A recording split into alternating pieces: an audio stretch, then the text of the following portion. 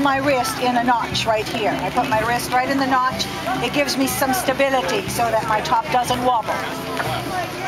When I say go, you are going to pull the handle. At the same time, you're going to lift up on your thumb.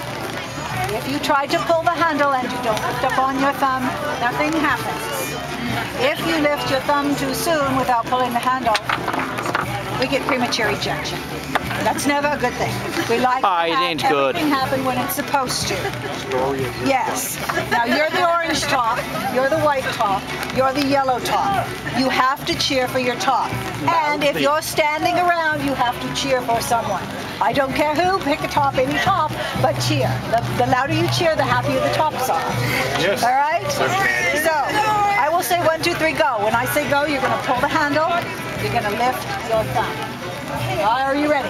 Yep. One, two, three, go. Woo!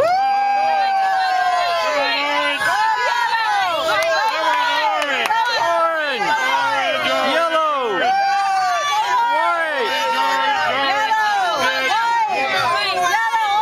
Oh, look, they're having a race.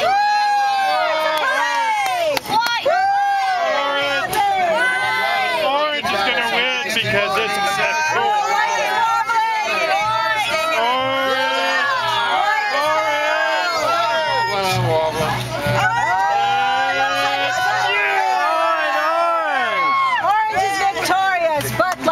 before, everybody gets a prize. So go to us,